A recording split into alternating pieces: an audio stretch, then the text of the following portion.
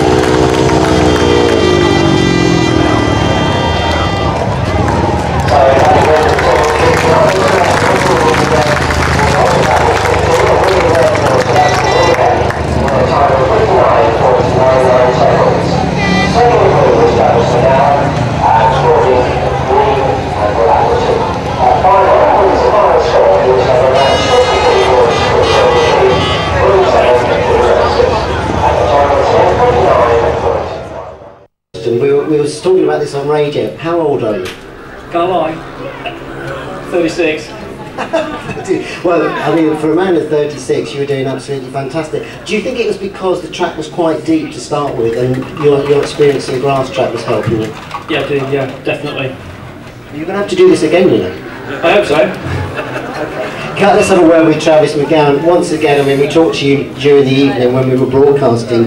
Um, really, you're, just getting better every week, aren't you? Well, that's the main thing, isn't it? You, you got to try and improve every week. And um, I felt really tonight I had some good consistency from the gate, which is what I've been lacking in uh, previous weeks.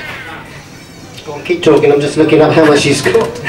uh, I think I got a paid maximum tonight, which is uh, I think it's my first one. Yeah, in fact, you did get a paid maximum. So I should have said congratulations for that. Now, we've got some good news for Nigel for once. We usually give him a hard time, but we'll come in with a soft question. Congratulations, because we thought it was going to be a little bit harder tonight. Yeah, I did, to be perfectly honest, but, you know, you don't you don't particularly think that, you know, somebody like Rick's going to probably go and do what he did. Um, and I've probably been full of admiration all night. Um, you know, if Pete Chapman was here now, who runs the the, the conference team, we'd all be giving him so much support. Um, it's not it's not easy to do that, you know, to, to, to move up from the level that Rick's done. And, you know, we brought him into the side to stabilise the young kids because, you know, we know him through the grass track and Chapo knows Rick. And he's just so good to have around and he's, you know, it's good to have an older head. Um, and he's had his, he's had his nap days, he'll tell you that, he's had his good days, but this is by far without the best he's ever experienced on a speedway bike. I'm convinced of that. And just to come and ride with elite league riders in an elite league team, I know the opposition was Premier League, but it all levels out. And to go and do that, you know, and be up for more, you know, he's, he's, he's hit the fence, he's got up so we don't have to stop the races. He wants to go in at 8.14, he's made changes to his bike. It's just such a massive occasion for him, he's done superb. And the guy here on the right, who, you know, I've, I've tried over the years, I've had so much faith in him. It's nice to put him at number five and let him go out and be captain and, you know, he's been around a long time now and he's, he's still, he's still in, in, in, in, a, gen, in, a, in a man's world, he's still a relatively young man. In Speedway, he's still the same, but he's, he's, you know, he's been coming back four or five years now, and you know, I like to try and give him a bit more exposure, a little more opportunity to, to, to take things on a bit, and he's responded in a massive way tonight, and I'm really proud of him. Uh, yes, we were proud of them as well. And also, I think the fans would probably say, how about Yoni Kolenko? He gave everything tonight. Well, he's had a tough time, Yoni, and you know you can't you can't make a speedway rider. They have ups and downs. Both these guys will know, you know, in their their different careers, they've had ups and downs. You have good nights, you have bad nights. And Yoni, you know, sometimes, you know, losing becomes a habit, like winning becomes a habit. And, and to be fair to the kid, he has struggled.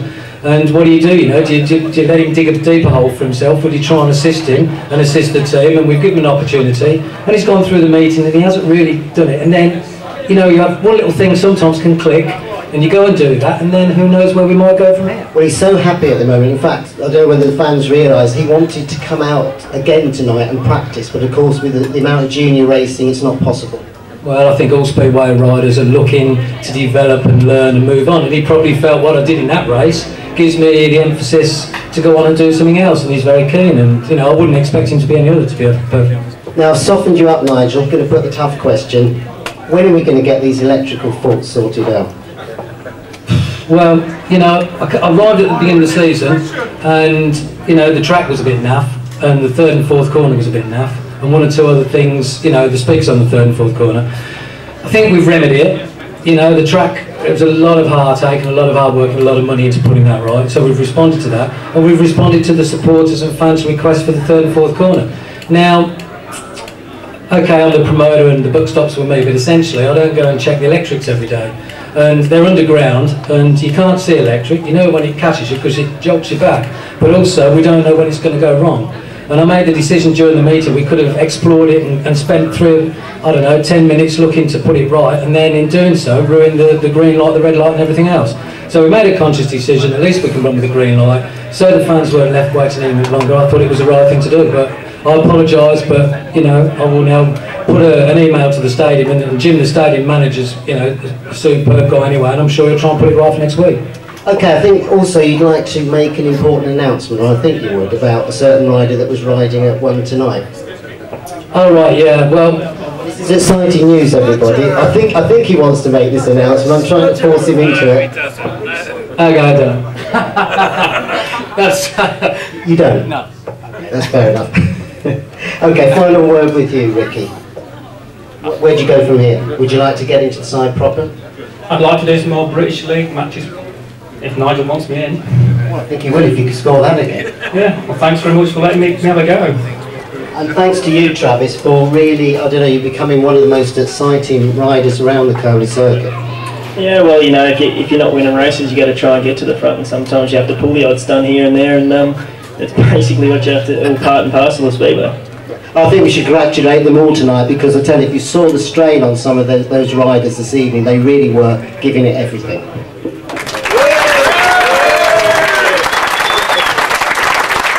They certainly were, eh, ladies and gentlemen.